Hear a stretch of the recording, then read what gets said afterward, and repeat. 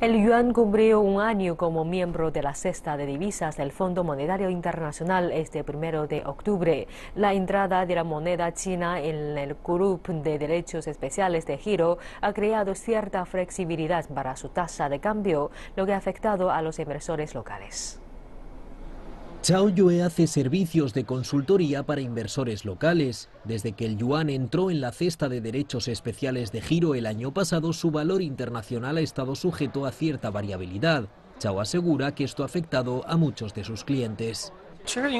La tasa de cambio fluctuante ha tenido un fuerte impacto en los inversores. Las políticas locales no suelen afectar a los precios inmobiliarios en el extranjero, pero para los inversores chinos las fluctuaciones en las tasas de cambio pueden tener un gran impacto.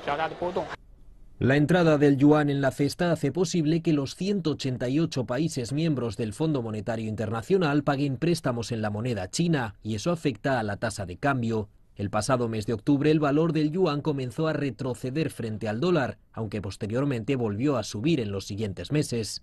Aunque esta variabilidad ha dado dolores de cabeza a algunos inversores individuales, otros expertos opinan que la inclusión del yuan en la cesta ha significado un importante desarrollo del mercado de capital chino.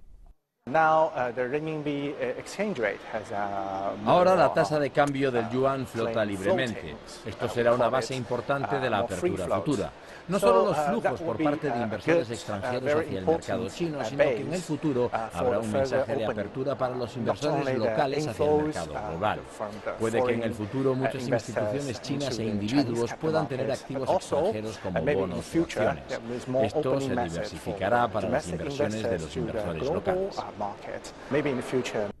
A principios de este año, el Banco Central de China comunicó que esperaba que en el futuro hubiera más productos de derechos especiales de giro. En agosto del año pasado, el Banco Mundial emitió un bono a tres años por valor de 700 millones de dólares en China. Se trató del primer bono de este tipo en más de 30 años. CGTN en español.